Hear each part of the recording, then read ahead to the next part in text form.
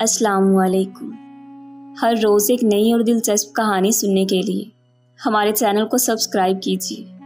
रात का आखिरी पहर हो रहा था और सुल्तान अपनी ख्वाबा में मौजूद नींद की आगोश में थे। उनके बराबर में ही उनकी जोजा भी नींद दराज थी। उनकी जोजा तो अपने मुहाफिज के बराबर में पुरसकून मालूम हो रही थी, लेकिन सुल्तान नींद में भी बेचैन नज़र आ रहे थे। वो मसलसल अपना सर दाएँ बाएँ मार रहे थे। हाथ मुट्ठी के अंदाज में बीस रखे थे। उनको सांस लेने में भी परेशानी हो रही। थी अभी उनकी मुकम्मल तौर पर सांस रुकती। इससे पहले ही सुल्तान हरबरा कर उठ बैठे थे। वो जिस अंदाज में उठे थे, उनकी जोजा भी यकदम ही बेदार हुई थी। और सुल्तान को मुश्किल से सांस लेता देखकर परेशानी से उनकी जानी बढ़ी थी। जबकि सुल्तान अपना सीना मसल रहे थे। उनकी जोजा ने उनके कंधे पर हाथ रखा और घबराए हुए लहजे में बोली, सुल्तान, मज़हब सब खैर तो है। क्या मैं तबीब को बुलवाऊं? आपकी तबीयत मुझे ठीक नहीं लग रही। उन्होंने सर नफी में हिलाया और अपनी जगह से खड़े होकर कमरे से मुंसलिक बालकोनी के पास आ गए और वहाँ चाँद को देखकर गहरी गहरी सांस लेने लगी। चाँद पूरी आबोताब से आसमान पर चमक रहा था। उसी की बदौलत ही पूरी सल्तनत में रोशनी फैली हुई थी। थोड़ी सांस हमवार होने के बाद सुल्तान कमरे में आए। उनकी जोजा उनके इंतज़ार में खड़ी हुई थी।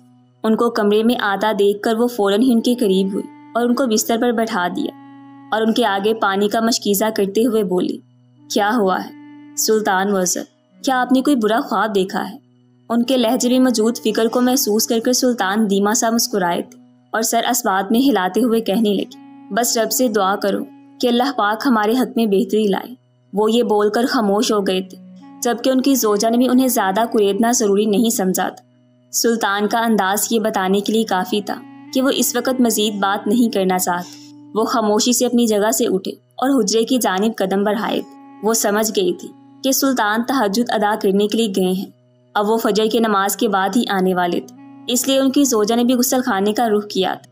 पहले वज़ू बनाया और उसके बाद तहजद की नमाज़ अदा की और अल्लाह ताला से दुआ की कि जो ख्वाब उनके शोहर ने भी नींद की हालत में देखा है, वो सच ना हो। बस उसकी तबीर अच्छी हो जाए और वो काफ़ी देर तक अपने शोहर के हक में दुआ मांगती रही। उसके बाद अपने चेहरे पर हाथ फेर कर उठ गई। उन्होंने एक निगाह दरवाजे की जानब देखा और खामोशी से एक बार फिर बिस्तर पर नींद दराज हो गई। लेकिन उनके दिमाग को सिर्फ़ और सिर्फ़ सुल्तान का ही ख्याल था। वो उनकी पहली और आखिरी मोहब्बत थे। वो उनको बेहद चाहती थी। उनके अलावा उन्होंने कभी किसी दूसरे मर्द की जानब निगाह उठाकर भी नहीं देखा था। अल्लाह ताला और रसूल के बाद उनके लिए सिर्फ़ और सिर्फ़ उनके शोहर ही अहमियत रखते थे। और इन्हीं वजूहत के बायस वो सुल्तान की ज़रा सी परेशानी पर तकलीफ़ महसूस कर रही थी। अगली सुबह सूरज तलु आफ्ताब होते नाश्ते की तैयारियाँ शुरू हो गई थी। जबकि दरबार में सुल्तान की आमद का इंतज़ार किया जा रहा था, क्योंकि आज राया का रश काफ़ी था। दरबारियों के लिए राया को संभालना काफ़ी मुश्किल साबित हो रहा था। वो सबके सब सुल्तान से जल्द से जल्द मुलाकात चाहते थे, इसलिए बेकाबू हो रहे सुल्तान तक ये इतला पहुँचा दी गई थी कि वो भी जल्दी जल्दी गुस्सा लेकर फ़ौरन ही दरबार की जानब बढ़े थे। उनकी जोजा ने उन्हें नाश्ते पर करने की तलकीन भी की थी, लेकिन उन्होंने उनकी पेशकश ये बोलकर मुस्तरद कर दी थी कि उनके लिए उनकी राया अहम है। बाकी सारी चीज़ें वो बाद में देख लेंगे। जबकि उनकी जोजा ने उनकी पुश्त को फ़ख्र से देखा था। वो कितने अजीम इंसान थे, जो अपनी सेहत को भी अपनी राय की खिदमत के लिए वक्फ कर दिया करते थे। वो और बादशाहों जैसे बिल्कुल नहीं थे। उनके सीने में दिल था, जो हर एक इंसान के लिए दरकता था। सुल्तान की आमद पर फ़ौरन ही दरबार में सनाटा छा गया था। तमाम दरबारी और मशीर सुल्तान की अदब में अपनी अपनी जगहों से खड़े हो चुके जबकि सुल्तान ने एक दायराना निगाह पूरे दरबार पर डाली थी। और कदम ब कदम चलते हुए अपनी नशीस पर विराजमान हो गए थे। सुल्तान ने तमाम दरबारी और मशीर को बुलंद आवाज़ में सलाम किया और फ़ौरन ही दरबार का आगाज़ कर दिया था। उनके हुक्म की फ़ौरन ही तामील की गई थी और एक के बाद एक आदमी उनके दरबार में हाजिर होकर अपने मसाइल पेश करता जा रहा था। सुल्तान बिना माथे पर बल डाले लोगों के मसाइल दिल से हल कर रहे थे, लेकिन वो आज हाजिर दिमाग नहीं थे। उनका दिमाग मसलसल उस रात वाले ख्वाब में ही लगा हुआ था। वो अल्लाह ताला से रात भर दुआई करते रहे कि इस ख्वाब की तबीर अच्छी हो, कोई भी मसला आगे जाकर पेश ना आए। वो अपनी राय को तकलीफ़ में नहीं देख सकते थे, क्योंकि जो ख्वाब उन्होंने देखा था, वो बहुत ही बुरी, खतरनाक था। इसलिए वो मसलसल अपने रब से महबू गुफ्तगु थे। अभी वह इन सब चीज़ों में ही मसरूफ थे कि अचानक ही एक सिपाही वज़ीर के पास आया और सरगोशी में बाहर आए हुए मेहमान का पैगाम पहुँचाने लगा, जिसको सुनकर पहले तो हैरान होकर वज़ीर ने उस सिपाही की जानब देखा। और फिर सर को इस बात में हिला दिया। उस सिपाही के जाने के बाद वज़ीर सुल्तान के कान के करीब झुका और बोलने की इजाज़त चाही।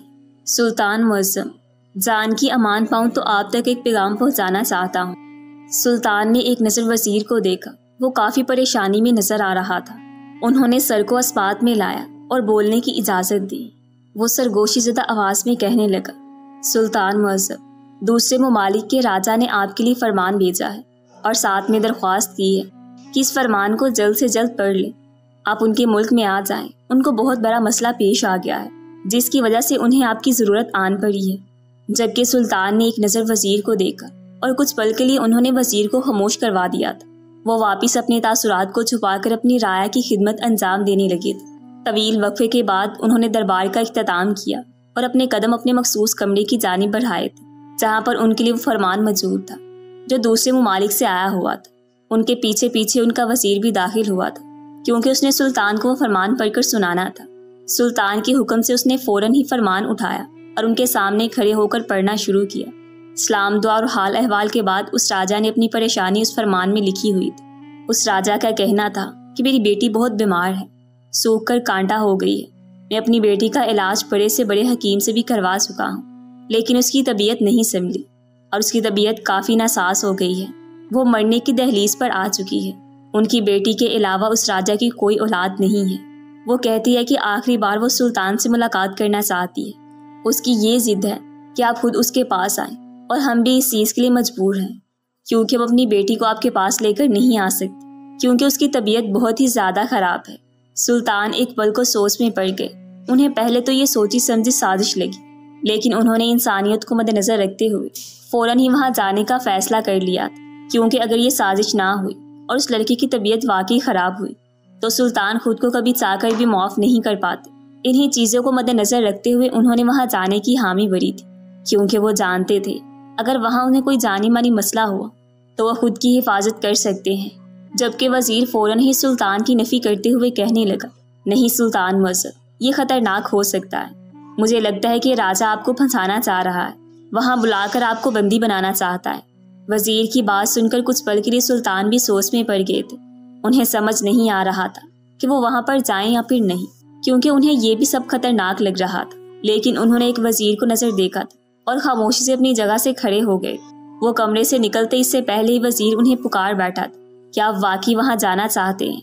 इस लहजे में फ़िक्र की अमेजिश थी। उन्होंने एक नज़र वज़ीर को देखा और सरस बात में हिलाकर कमरे से निकल गए। जबकि वज़ीर का हाथ बेसाख्ता परेशानी से माथे पर गया था और वो अपनी परेशानी को मसलता हुआ बाहर आया। तो उसके इंतज़ार में कुछ सिपाही खड़े हुए थे। उन सबने वज़ीर को पहले सलाम किया और सुल्तान का मसला पूछा। उसने मुख्तसर करके तमाम रुदात उन सबको सुना दी। तो तमाम सिपाही यकदम ही हत्ते से उखड़ गए। उन सब का कहना था कि वो लोग किसी भी तौर पर सुल्तान को अकेले वहाँ पर नहीं जाने देंगे। वो सब अपने सुल्तान के साथ उस मुल्क जाएँगे, क्योंकि हम में से किसी को भी उस राजा पर भरोसा नहीं है। वो अपनी दुश्मनी निकालने की खातिर भी ये कर सकता है, जबकि सुल्तान अपनी ख्वाबगाह में गए थे। वहाँ उनकी जोजा कुरान पाक की तलावत कर रही थी। उनको देखकर फ़ौरन ही उन्होंने अपनी आयत मुकम्मल की और सुल्तान के पास आकर उनकी तबीयत और हाल अहवाल पूछने लगी, जबकि सुल्तान ने उनके माथे पर एक मोहब्बत भरा बोसा दिया और उन्हें फ़ौरन ही हुक्म दिया था कि उनके लिए खाने का इंतज़ाम किया जाए। वो दोपहर का खाना खाकर दूसरे मुल्क की जानब निकलेंगे, जबकि उनकी बीवी ने ठिठक कर सुल्तान को देखा था। सुल्तान उनकी आँखों में मौजूद सवाल से नज़रें चुरा रहे थे, लेकिन अचानक ही उनकी जोजा उनके रास्ते में हायल हो गई और उनकी आँखों में देखते हुए बोली, हमें सच सच बताएँ, आप कौन से मुल्क जाना चाहते हैं? सब खैर तो है ना? हमें बताइए सुल्तान मौसम कल रात भी आप काफ़ी घबराए हुए थे। अगर कोई मसला आपके साथ दरपेश आ गया है तो खुदा के लिए हमसे कुछ ना छुपाएँ। हमारा तो दिल ही बैठा जा रहा है। उनकी आँखों में यकदम ही नमकीन पानी बढ़ आया था।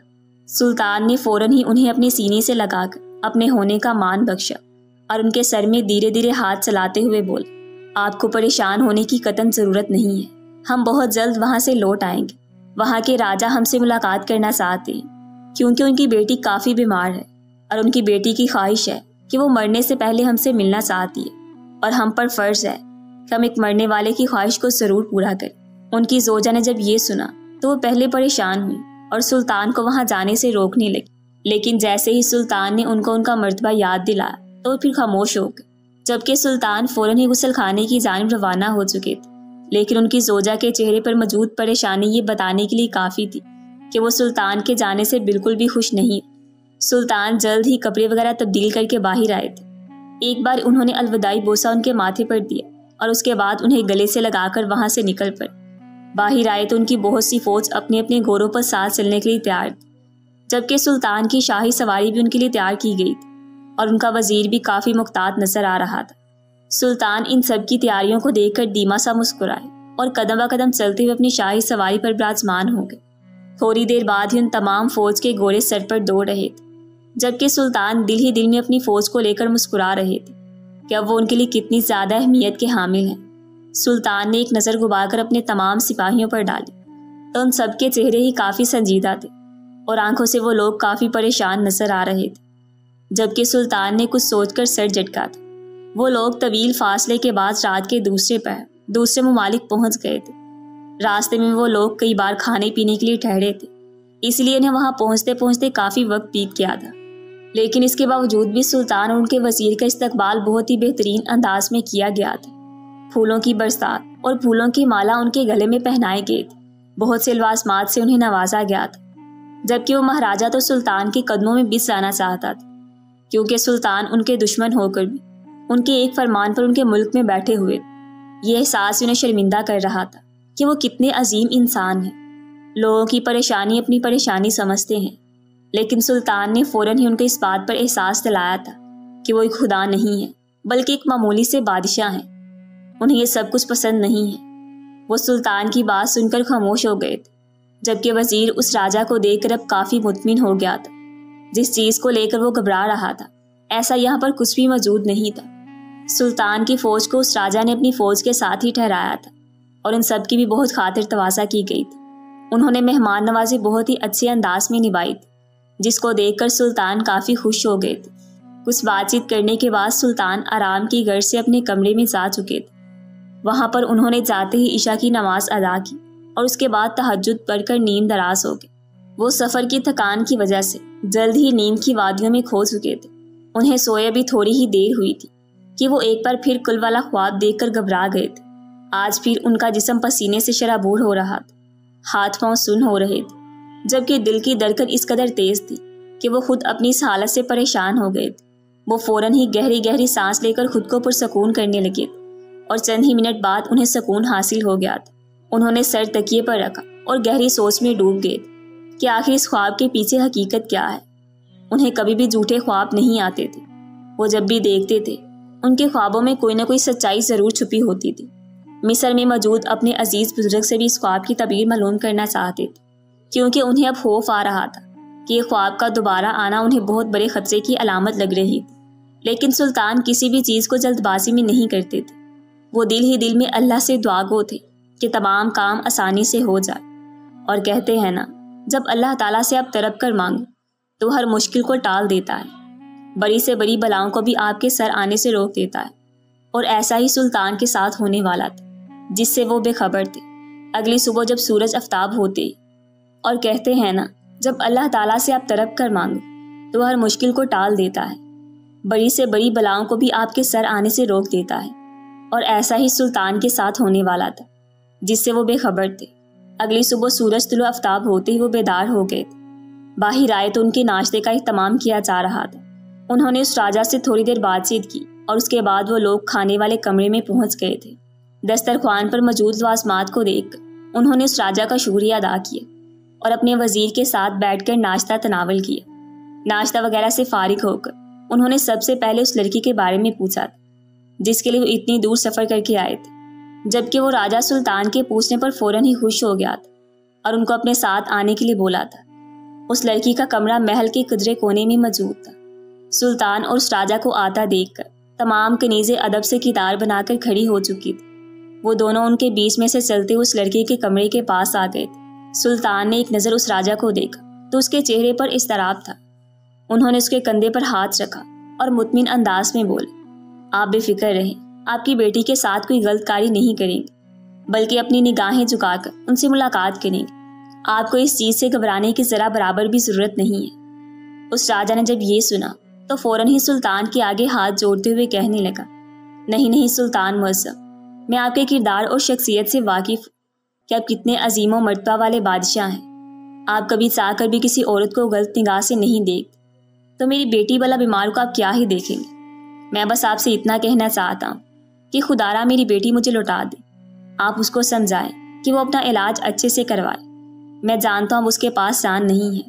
हर तबीब ने मुझे एक ही बात कही है कि महाराज आपकी बेटी जीना नहीं चाहती। उसने जीने की उम्मीद ही छोड़ दी है।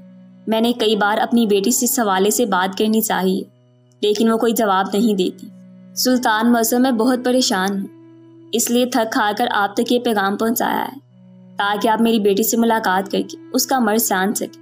सुल्तान ने सर को हल्की जुम्बिश दी और कमरे का दरवाज़ा खोलकर जाने लगे। तो अचानक ही उस राजा ने सुल्तान को पीछे से पुकार और आस भरे लहजे में बोला, बस मेरी एक ही औलाद है। मैं आपका हमेशा शुक्रगुजार रहूँगा। अगर आप मेरी बेटी को ठीक कर देंगे। सुल्तान ने खामोश निगाह उस राजा पर डाली और सर झटका। उनको ये बात काफ़ी नागवार गुजरी थी कि आप ठीक कर देंगे। भला वो कौन होते थे किसी इंसान को ठीक करने वाले? वो तो थे ही एक मामूली से इंसान। लेकिन वो ये नहीं जानते थे कि अल्लाह के नज़दीक और इंसानों के नज़दीक उनका क्या रुतबा है। सुल्तान जैसे उस कमरे में दाखिल हुए तो सामने मिस्त्री पर एक लड़की लेटी हुई थी। वो मुकम्मल तौर पर हड्डियों का ढांचा मालूम हो रही थी। बाकायदा ऐसा महसूस होता था, जैसे कोई हड्डी का ढांचा मिस्त्री पर रख दिया गया सुल्तान कदम बा कदम चलते उस लड़की के सराहाने के पास आए। तो उन्हें एक दार सी मिली थी। वो लागर सा वजूद सांस ले रहा था। सुल्तान ने उस लड़की के सर पर शफकत भरा हाथ रखा और धीमी आवाज़ में बोले, अस्सलाम वालेकुम शहजादी, हम सुल्तान हैं। हमने सुना है कि आप हमसे मुलाकात की ख्वाहिशमंद हैं। बोलिए, आपके साथ क्या मसला दरपेश आया है? हम हर मुमकिन कोशिश करेंगे कि आपके मसले को हल करें और जितना हो सकेगा, आपको इंसाफ दिलाएँगे। ये सुनना था कि उस लागर से वजूद ने पर से आँखें खोली थी। और सामने सुल्तान को देखकर उस लागर से वजूद की आँखें बेसाख्ता आँसू से रो दी। उसका जिसम हिचकोले खाने लगा था। वो सुल्तान के आगे हाथ जो रही थी, जबकि सुल्तान परेशान हो गए थे कि ये ऐसा क्यों कर रही है। सुल्तान ने उन हाथों को थामा और उस लड़की को समझाते हुए बोले थे, हमारे सामने ऐसा मत करे। जो अभी मसला आपके साथ है, वो मुझे बताएँ। हम हर मुमकिन कोशिश करके आपकी ज़िंदगी को बचाने की कोशिश करेंगे, क्योंकि आपके बाबा चाहते हैं कि आप ज़िंदगी की तरफ़ लौट आए। और हम भी अब ऐसा ही चाहते हैं। आप तो बहुत समझदार, शहजादी मालूम हो रही हैं। तो फिर ऐसा क्यों कर रही हैं? उसके लागर से वजूद को सुल्तान ने देखा और बेहद धीमी आवाज़ में बोल, सुल्तान, में अब टूट चुकी हूँ। मुझे अब मसीद बर्दाश्त बाकी नहीं है। इस वजूद से जैसी आवाज़ निकली, सुल्तान उसको बगोश सुनने लगे। उन्हें बहुत ध्यान लगाकर उसकी बातों को मुलायजा करना पड़ रहा था। और जैसे जैसे वो लड़की सुल्तान को अपने ऊपर बीती हुई तमाम रुदात बताई थी वैसे वैसे सुल्तान की आँखें नम होती चली गई। उन्होंने उस लड़की से वादा किया कि वो हर हाल में उसकी इस ख्वाहिश को पूरा करेंगे और हो सकता है उसकी ख्वाहिश के बाद वो ज़िंदगी की तरफ़ लौट आए। जबकि वो दीमा सा मुस्कुराई थी और महज इतना ही बोली थी कि बाबा को मेरा मुर्दा वजूद तो बिल्कुल कबूल होगा, लेकिन वो मेरी इस ख्वाहिश को कभी पूरा नहीं करेंगे। बस आपसे एक दरख्वास्त है। बस आप मेरी एक बार उससे मुलाकात करवा दें, जबकि सुल्तान ने उसे खामोश करवा दिया था और वहाँ से लौट आए थे। बाहर ही वो राजा परेशानी के आलम में टहल रहा था। साथ ही उसकी जोजा भी मौजूद थी। उनको आता देखकर उसकी जोजा ने फ़ौरन ही सर झुकाकर सलाम किया था, जिसका जवाब सुल्तान ने सर को हल्की जुम्बिश दे दिया था। सुल्तान ने उस राजा की जानी देखा और कहने लगी, हमें समझ आ गया है। तुम्हारी बेटी के साथ क्या मर्ज है? कच्ची आबादी की जानिब जो बाज़ार लगता है, उसकी फलाह दुकान पर एक नौजवान मर्द मौजूद होगा, जिसका नाम अब्दुल कयूम होगा। उसको तुम बुलाओ। और अपनी बेटी के साथ तनहा छोड़। दो हम तुमसे दावा कर सकते हैं कि तुम्हारी बेटी सेहतयाब हो जाएगी, जबकि उस राजा ने हैरान होकर सुल्तान को देखा था। लेकिन सुल्तान ने एक ही बात बोली कि हमारे पास वक्त बहुत कम है, तुम्हारी बेटी की आखिरी ख्वाहिश में था। उसने अपनी आखिरी ख्वाहिश पूरी कर ली है। अब कुछ भी हो सकता है। जल्द से जल्द उस लड़के को महल में बुलाओ। उसके बाद ही तुम्हारी बेटी ठीक हो सकती है। वो दोनों सुल्तान से इसकी वजह पूछना चाहते थे। लेकिन सुल्तान ने इतनी जल्दी मचाई थी कि वो लोग फ़ौरन ही सुल्तान के हुक्म की तमील करने लगे थे। और कुछ ही देर बाद वो अब्दुल क्यूम नामी लड़के को महल में दाखिल करवा चुके थे। चोरी जसामत वाला ऊँचा लंबा कद कंधे से नीचे तक बाल बड़ी बड़ी आँखें वो लड़का हुसन का शाहकार था। वो चलता हुआ शहजादी के कमरे के पास आया तो सुल्तान भी वहीं खड़े हुए थे। उन्होंने उस लड़के के कंधे पर हाथ रखा और उसको कुछ बातें कही। और वो लड़का एक गहरी सांस सवार के सपुर्द करके कमरे में जा चुका था, जबकि सारी रात वो राजा और उसकी जोजा अंगारों पर लौटे थे, जबकि सुल्तान भी काफ़ी परेशान थे। वो सारी रात अल्लाह ताला से दुआ कर रहे थे कि उस लड़की की जान बच जाए और वो ज़िंदगी की तरफ़ लौट आए। और अगले सुबह पूरे महल में खुशी मनाई गई थी, क्योंकि वो लड़का जब बाहर आया था तो उसने आते ही खुशखबरी दी थी कि शहजादी उठकर बैठी थी और उसने अपने हाथ से पानी पिया है। खाने के चंद वाले अपने हलक से उतारे हैं। राजा तो ये सुनकर रो पड़ा था, जबकि उसकी जोजा सजदे में गिर गई थी। उन लोगों ने फ़ौरन ही तबीब को बुलाया था, और तबीब ने उस लड़की का जब मुआयना किया तो उसने भी यही कहा था कि एक रात में न जाने अल्लाह ताला की जानब से कौन सा करिश्मा हुआ है, कि ये लड़की ज़िंदगी की तरफ़ लौट रही है। हो सकता है जल्द या बदेर इसके जिसम में जान भी आ जाए, और ये वापस अपने कदमों पर पूरी शान से खड़ी हो। जबकि ये सुनना था तो वो राजा सुल्तान के गले से लग गया, और रोते हुए कहने लगा सुल्तान मज़हब ऐसा क्या हुआ है? इसने आपको क्या बताया था? और ये लड़का कौन जादूगर है, जिसने मेरी मासूम बच्ची को लुटा दी है? सुल्तान ने एक नज़र उस राजा को देखा और बोले, बाजुकात अपने अना का बुत तोड़ना पड़ता है। पलाद बहुत अनमोल चीज़ होती है, जो हर किसी के नसीब में नहीं आती। किसी किसी को तो मिलकर भी उसे छीन ली जाती है तो किसी को मिल जाती है तो फिर वो उसकी नाफरमान हो जाती है। तुम अल्लाह का लाख लाख शुक्र अदा किया करो। कि तुम्हारी बेटी तुम्हारी फर्मा बरदार है। तुम्हारी खातिर उसने अपनी ज़िंदगी को चुनने के बजाय अपनी मौत को चुना है। अब्दुल कयूम को तुम्हारी बेटी बेहद पसंद करती है। एक शिकार के वक्त तुम्हारे साथ वो मौजूद थी और अब्दुल कयूम भी अपने दोस्तों के हमरा जंगल में आया हुआ था। वहाँ इन दोनों की मुलाकात हुई थी और दोनों ने ही पसंदगी का इजहार किया था। चंद रोज बाद इन दोनों की पसंदगी उड़ूज पर चली गई थी। लेकिन जब तुम्हारी बेटी को इस बात का एहसास हो गया कि तुम अब्दुल कयूम के रजामंद नहीं हो तो उसने अपने कदम पीछे हटा लिए थे और अब्दुल क्यूम को भी इससे मुलाकात के लिए रोक दिया था। लेकिन ये इसके लिए बिल्कुल भी सही साबित नहीं हुआ था। धीरे धीरे उसके जिसम से जान जाती रही, क्योंकि एक महबूब का ना होना इंसान को ख़त्म कर देता है और यही हाल तुम्हारी बेटी का भी हुआ है। और आखिरी वक्त में उसको याद आया कि जिसके ज़रिए वो अपना ये पैगाम तुम तक पहुंचाना चाहती थी। उस रोज़ जब मैं कमरे में दाखिल हुआ तो तुम्हारी बेटी बोली, मैं मुकम्मल तौर पर टूट चुकी हूँ। मेरे पास कुछ भी नहीं बचा है। मैंने सुना है कि आप बहुत ही नेक दिल इंसान हैं। लोगों के मसाइल चुटकियों में हल कर देते हैं। मैं उम्मीद तो छोड़ चुकी हूँ, लेकिन एक अदनी सी उम्मीद आपसे कर रही हूँ। मेरी एक कनीस बता रही थी कि आप हर बेकसों की मदद करते हैं, मज़हब को नहीं देखते, बल्कि इंसानियत को ऊपर रखते हैं। मैं अब्दुल कयूम से बेानतहा मोहब्बत करती हूँ। मैं ये पैगाम किसी भी कनीस या मुलाजिम के ज़रिए उस तक पहुँचा सकती थी, लेकिन मैं चाहती हूँ कि यह पैगाम आप उस तक पहुँचाए कि मैं उससे बहुत मोहब्बत करती हूँ। अगर उसे लगता है कि मैंने अपनी हसीियत की वजह से उसे छोड़ा है तो ये उसकी गलत फहमी है। मैंने सिर्फ़ और सिर्फ़ उसकी जान बचाने की खातिर अपने कदम पीछे लिए थे, क्योंकि मुझे अब्दुल क्यूम की खुशी अज़ीज़ है। अगर बाबा को ये बात मालूम होती कि मैं किसी को पसंद कर रही हूँ तो बाबा उस शख्स को ख़त्म कर देते और मैं ऐसा हरगिज़ नहीं चाहती थी कि मैं जीते जी अब्दुल कयूम को मरते हुए देखूँ। इसलिए मैंने बाबा और अब्दुल कयूम की खातिर अपने कदम पीछे लिए थे। ये बातें सुनकर उस राजा और उसकी बीवी दोनों की आँखों में आँसू आ गए जबकि अब्दुल कयूम की हालत भी काफ़ी गैर मालूम हो रही। सुल्तान ने अब्दुल कयूम के कंधे पर हाथ रखा और कहने लगे, अगर तुम मर्द बनकर राजा के सामने आकर अपनी मोहब्बत का इजहार करते तो आज तुम्हारी महबूबा इस हालत में ना होती, जबकि तमाम लोगों का सरब झुक गया था।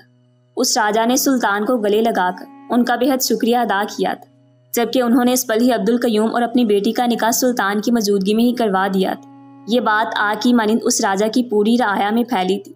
कि सल्तनत के महाराज ने अपनी शहजादी की शादी एक आम दुकानदार से की है। जबकि बहुत से लोग इस बात के बाद उस राजा के गर्विदा हो गए। हर जगह उस राजा के गुण गाए जा रहे थे कि उसने अपनी हैसियत से नीचे शख्स से अपनी शहजादी की शादी करवाई है।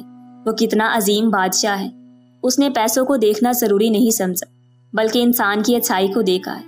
जबकि वो अपनी तारीफों और अपनी बेटी को ज़िंदा वापस देखकर खुशी से पागल होने के करीब आ गया था। धीरे धीरे शहजादी ज़िंदगी की तरफ़ लौट आई थी। और अब्दुल कयूम के साथ खुशगवार ज़िंदगी महल में ही बसर करने लगी, जबकि सुल्तान को अपने ख्वाब की तबीर समझ आ गई कि वो मुसलसल दो रोज से जो ख्वाब देख रहे थे, उनमें उन्हें यही नज़र आ रहा था कि एक बहुत ही लागर सा वजूद कदरे कोने में पड़ा हुआ है। लोग उस लागर वजूद को देख रहे हैं, लेकिन उसकी मदद के लिए कोई भी नहीं जा रहा, जबकि वो लागर सा वजूद मसलसल सुल्तान सुल्तान की गर्दान करके उन्हीं को पुरकार रहा है। और जब जब सुल्तान उसके करीब जाना चाहते हैं तो एक ऐसी आग उन दोनों के बीच हायल होती है। कि वो सुल्तान को अपनी लपेट में लेने की कोशिश करती है, लेकिन सुल्तान फ़ौरन ही उस आग से पीछे हो जाते हैं, और शायद उस ख्वाब की तबीर यही थी कि उस अब्दुल कयूम को बगैर निकाह के एक रात शहजादी के साथ छोड़ना था, और इसी चीज़ की वजह से उन्हें वो आग नज़र आ रही थी, क्योंकि एक गैर महरम औरत और गैर महरम आदमी का रिश्ता आग की मानंद होता है। लेकिन अब जब दोनों एक दूसरे के महरम बन गए थे तो सुल्तान को डेरों डेर सकून पहुँचा था, और उन्होंने उस अमल के लिए अल्लाह ताला से माफ़ी भी मांगी थी। और साथ में इस राजा को मजीद तलकीन करके आए थे कि तुम भी सब जगह ये बात फैलाना कि औलाद एक बहुत बड़ी नेमत है। इसको इस तरह से ज़ाया नहीं करना चाहिए, वरना आखिर में वो नेमत हमसे छीन ली जाती है। सुल्तान अपने हुजरे में बैठे अल्लाह ताला की इबादत में इस कदर मशगूल थे कि उन्हें आसपास का बिल्कुल भी होश नहीं था। वो बहुत इबादत गुजार थे, दिन को भी अल्लाह की इबादत में मशगूल रहते। और रात को भी अल्लाह ताला की इबादत में मशगूल रहते। इसके अलावा अपनी राया का भी बेहद ख्याल रखते। लेकिन उनमें एक आदत थी कि वो हर जुमा की रात को अल्लाह ताला की इबादत में इस कदर मसरूफ़ हो जाते थे कि उन्हें किसी चीज़ का इल्म ही नहीं होता था। वो दुनियावी चीज़ों को मुकम्मल तौर पर तर्क कर देते थे और अल्लाह की इबादत में मसरूफ़ हो जाते थे। आज भी जुमा का दिन था। उन्होंने जुमा की नमाज़ अदा की और महल में वापस आ गए।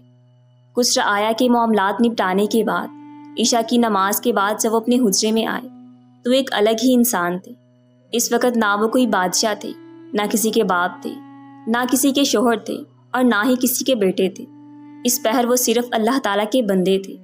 उन्होंने अपनी पोशाक तब्दील की और मसल्ला बिछाकर उस पर खड़े हो गए। वो रात भर नवाफिल अदा करते थे, सजदों में जाते थे तो उठते ही नहीं थे। रकू में रो रो कर अल्लाह ताला से अपनी मगफरत की दुआ मांगते थे। अपने साथियों की बख्शिश मांगते थे। उन जैसा बादशाह इस दुनिया में कोई आया ही नहीं था। वो शहनशाहों के शहनशाह थे। उन्होंने बहुत सी जंग फतह की थी। आज तक उन्हें एक भी जंग में शिकस्त नहीं मिली थी। उनकी राया के लोग उन्हें बेहद पसंद करते थे। उनका नाम हर जगह मशहूर था। उनके दुश्मन उनके नाम से काम जाया करते थे।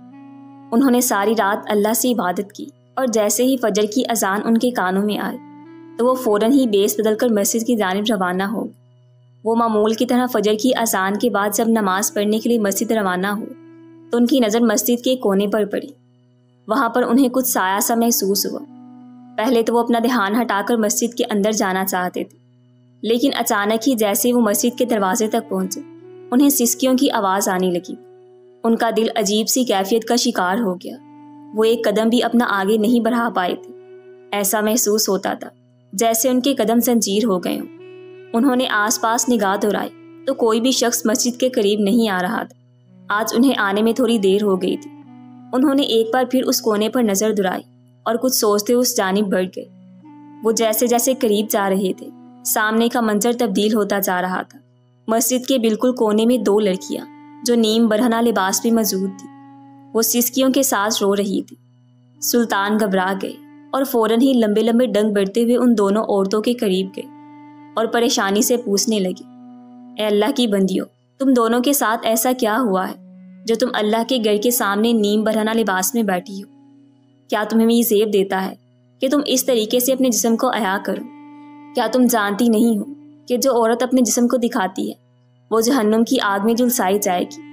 क्या तुम इस बात से ना वाकिफ सुल्तान उन दोनों औरतों की जाने भी नहीं देख रहे थे। उनकी आँखें नीची थी, क्योंकि उन दोनों का लिबास इस कदर बढ़ना था। कि वो अपनी आँखें उठाकर उन औरतों से बात नहीं कर सकते थे। उन औरतों ने सुल्तान की जानब देखा और कहने लगी, हम लुट गए, हम बर्बाद हो गए, हमारा कोई नहीं बचा, हमारी जिंदगियाँ खराब हो गई, हमारे पास एक इज़्ज़त थी और वो भी हमसे छीन ली गई है। सुल्तान हैरान हुए। इस वक्त वो बादशाह के लिबास में मौजूद नहीं थे। वो औरतें उन्हें आम इंसान समझ रही थी। सुल्तान ने उन औरतों की जानब एक पल को देखा और एक बार फिर अपनी निगाहें फेरते हुए कहने लगी तुम्हारे साथ ये गुस्ताखी करने वाला कौन है? तुम अपने घर जाओ और सुबह होते ही दरबार में जाकर सुल्तान से शिकायत कर देना। वो यकीनन तुम्हारा मसला सुनकर उन दरिंदों को सजा ज़रूर देंगे, जो तुम्हारे मुजरम हैं। जबकि औरतों ने ठिठक कर अचानक से सुल्तान की जानब देखा और एक दूसरे की निगाहों से निगाह मिलाते ही अपनी जगह से खड़ी हुई और तेज आवाज़ में चिल्लाने लगी। सुल्तान यकदम घबराकर दो कदम पीछे हो गए। उन्हें समझ नहीं आया कि ये औरतें आखिर चिल्ला क्यों रही हैं? उन्होंने परेशानी से पूछा, सब खैर है। कहीं की तकलीफ़ हो रही है। तुम दोनों आखिर चिल्ला क्यों रही हो? लेकिन वो औरतें बिल्कुल भी काबू में नहीं आ रही थी। वो तेज तेज आवाज़ में रोते हुए चिल्ला रही थी कि हमें बचाओ इस दरिंदे से, हमें बचाओ। मस्जिद में काफ़ी सारे मर्द मौजूद थे। उन औरतों की आवाज़ सुनकर वो मर्द भी फ़ौरन मस्जिद से बाहर आ गए और एक आदमी के साथ दो औरतों को खड़ा देख उस तरफ़ ही आ गए थे। जबकि उन औरतों को इस लिबास में देखकर सब लोग समझ चुके थे कि यहाँ पर कुछ गलत काम हुआ है। जबकि उन दोनों औरतों में से एक औरत करीब आई और कहने लगी, इस आदमी ने हम दोनों की इज़्ज़त लूट ली है। हमें बर्बाद कर दिया है। हमें कहीं का नहीं छोड़ा है।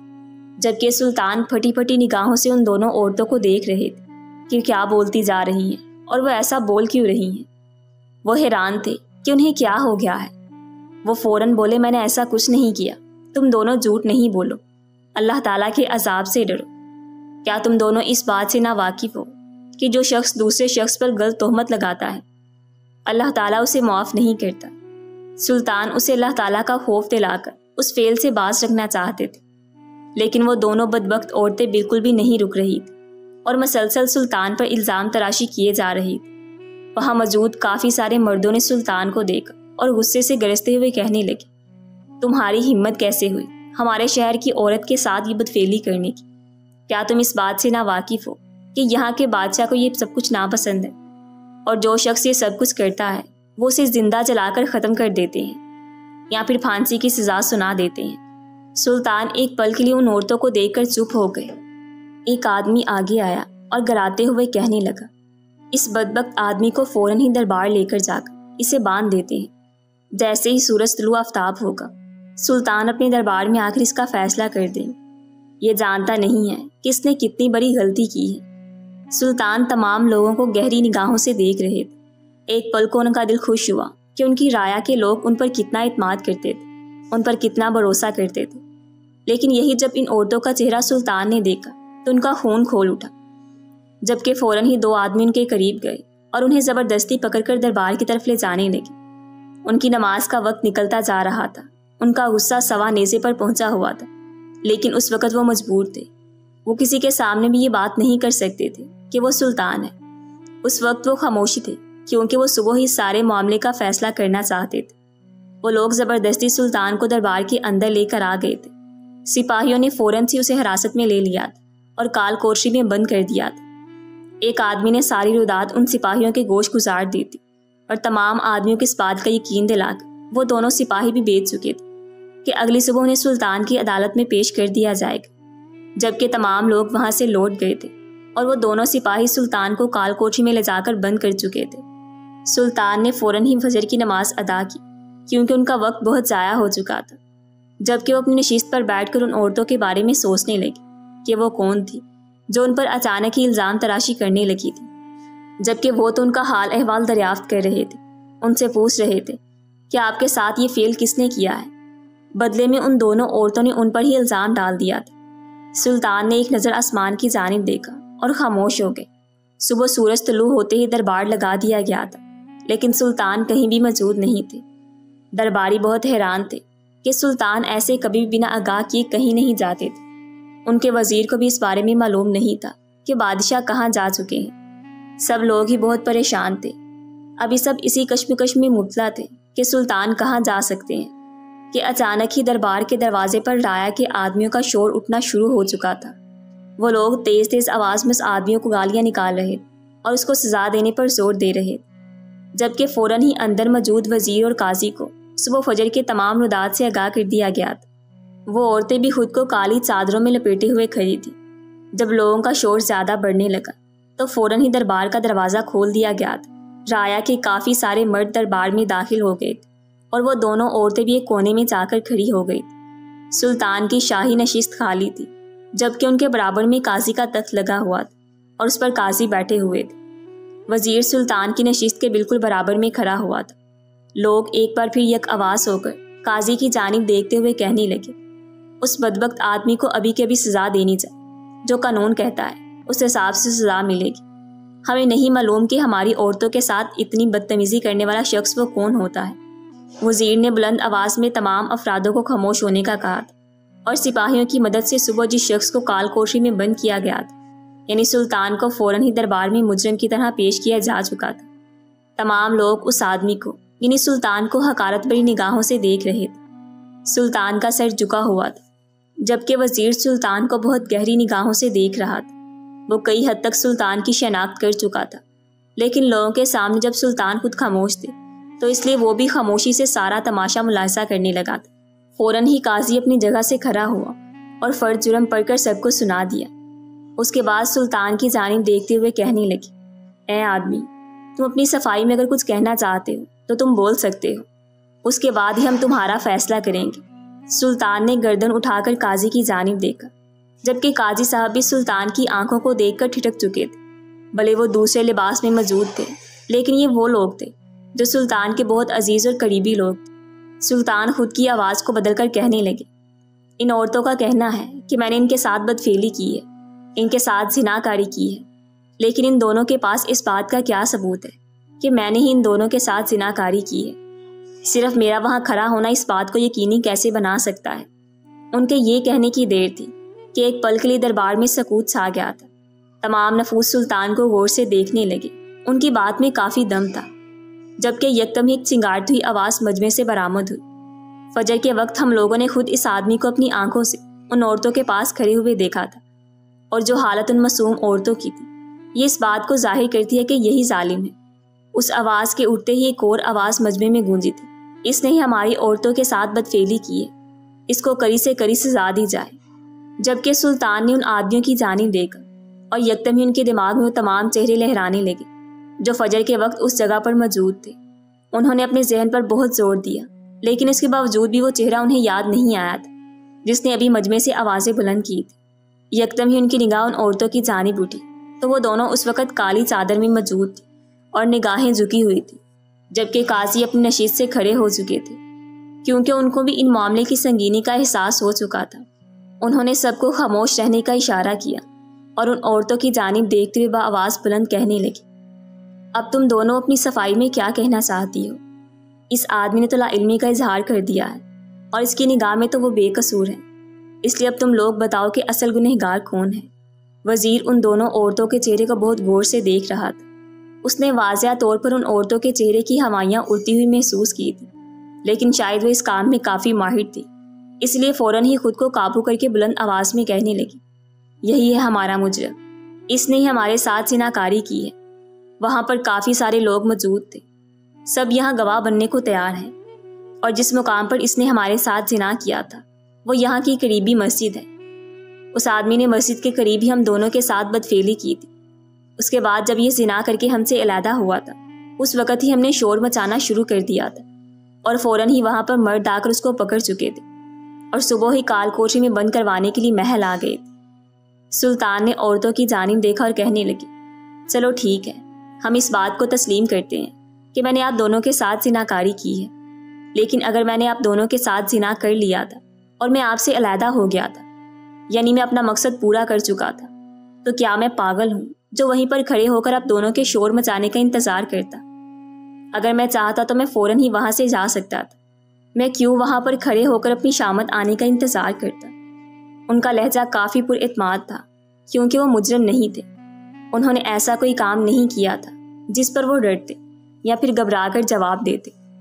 वो तो हैरान थे कि इन औरतों के इल्ज़ाम पर इस बात को समझ नहीं पा रहे आखिर इन पर क्यों इल्ज़ाम लगाया जा रहा था? जबकि वो दोनों लड़कियाँ एक बार फिर घबरा चुकी थी। केस उजलता जा रहा था। काजी ने वज़ीर की जानब देखकर कुछ सोचते हुए उसने फ़ौरन ही महल के अंदर से शाही दाई को बुलाया। अक्सर झूठ पर मबनी केस दरबार में आते थे और सुल्तान अपनी जहानत के बलबूते पर हमेशा ही केस को आराम और तहमुल से सुलझा लेते थे, लेकिन अभी वो यहाँ पर मौजूद नहीं थे। इसीलिए काजी बन नाइब बातों पर यकीन रखने के बजाय सबूत और गवाह पर फैसला देना चाहते थे। अगर इस बात की तस्दीक वो दाई कर देती है कि इन औरतों के साथ सिना हुआ है तो सुल्तान को सजा लाजमी सुनाई जाती। दाई के आते ही काजी बुलंद आवाज़ में कहने लगा, अभी दूध का दूध और पानी का पानी हो जाएगा, जब इन औरतों का मुआयना होगा। काजी की बात सुनकर दरबार में सहम गोइयाँ शुरू हो गई। काजी दाई की जानी मतवजा हुए और बोले कि इन औरतों को अंदर लेकर जाओ और इनका मुआयना करो। पता करो क्या कल रात इनके साथ जिनाकारी हुई है या फिर ये औरतें इस आदमी पर झूठा इल्ज़ाम लगा रही हैं। दाई ने एक नज़र उन दोनों औरतों को देखा और सर असबात में हिलाकर उन औरतों को अपने पीछे आने का बोल महल के अंदर वापस चले गए जहाँ उसका हुजरा मौजूद था। सुल्तान अपनी जगह पर सर उठाकर खड़े हुए थे। वो दिल ही दिल में अल्लाह ताला से मुखातिब थे। या अल्लाह, तू जानता मैं बेकसूर हूँ, मैंने कुछ नहीं किया। मेरी नज़र में ये सब गुनाह है। तू जानता है मैंने कभी किसी औरत को गलत निगाह से नहीं देखा। तू जानता है, मैं सिवाय अपनी औरत के, किसी गैर औरत के करीब नहीं गया। ए अल्लाह, आज इस बड़े मजमे में मेरी इज़्ज़त रख लेना। मुझे इन बदबख्त औरतों के इल्ज़ाम से बड़ी कर देना। तू रहमान है, तू रहीम है तू दिलों के हाल जानता है। मैं तो बस इनका हाल अहवाल दरियाफ्त करने के लिए गया था। या अल्लाह, मुझ पर से ये तोहमत हटा देना। वो मसलसल अल्लाह ताला से दिल में गुफ्तु किए जा रहे थे। काजी दरबार के काफ़ी सारे अफराद, जो सुल्तान के बहुत करीब थे। कई हद तक वहाँ के अफराद उनके बात करने के अंदाज से और उनके खड़े होने के अंदाज से पहचान ही चुके थे कि वो कोई मामूली इंसान नहीं है। वो इस सल्तनत के बादशाह हैं। लेकिन वो तमाम लोग खामोश थे। क्योंकि सुल्तान ने कोई भी रद्द अमल ज़ाहिर नहीं किया। वो मुसलसल बस अल्लाह ताला से दिल ही दिल में अपने लिए किसी गैबी मदद की दुआ कर रहे थे। वो नहीं चाहते थे कि उनकी बदनामी हो। अगर वो फांसी के फंदे पर चढ़ा दिए जाते या फिर उन्हें कत्ल करने का हुक्म दे दिया जाता तो भी यह उनके लिए कोई बड़ी बात नहीं थी। वह इन तमाम तर हालात से बच सकते थे। अगर उन्हें काल कोठरी में बंद कर दिया जाता तो अपना बेस तब्दील करके वापस अपने महल में बादशाह की हैसियत से आ जाते। लेकिन वो चाहते थे कि उन दोनों मकार और शादी औरतों का सफाक चेहरा इन सब लोगों के सामने आ जाए।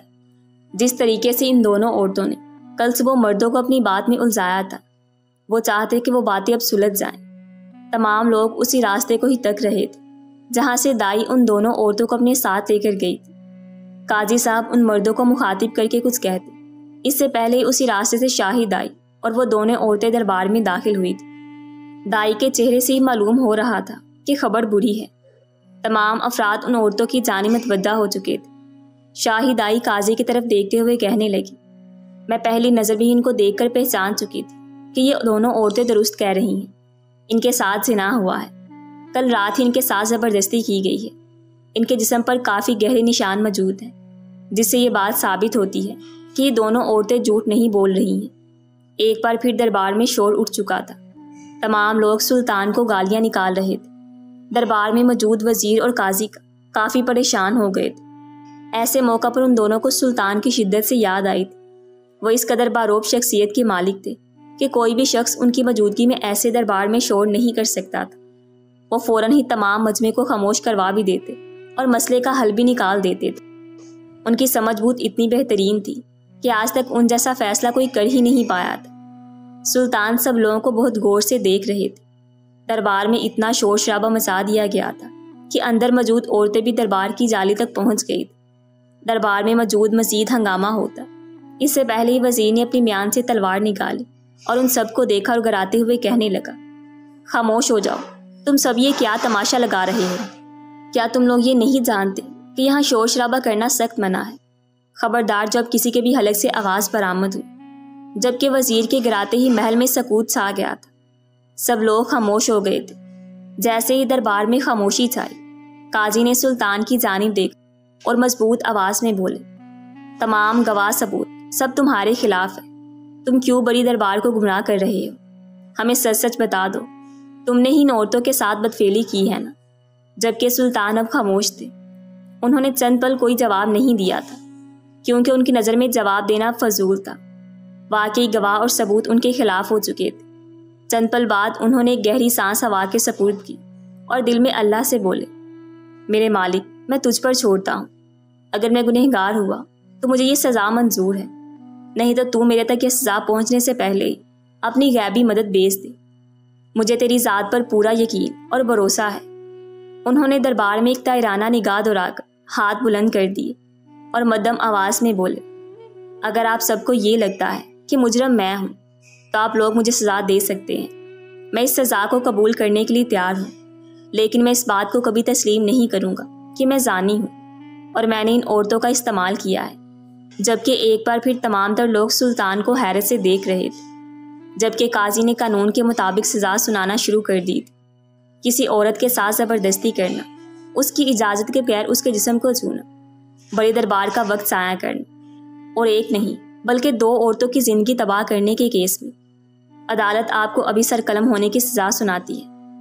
आपको अभी तमाम लोगों के सामने सज़ा मिलेगी।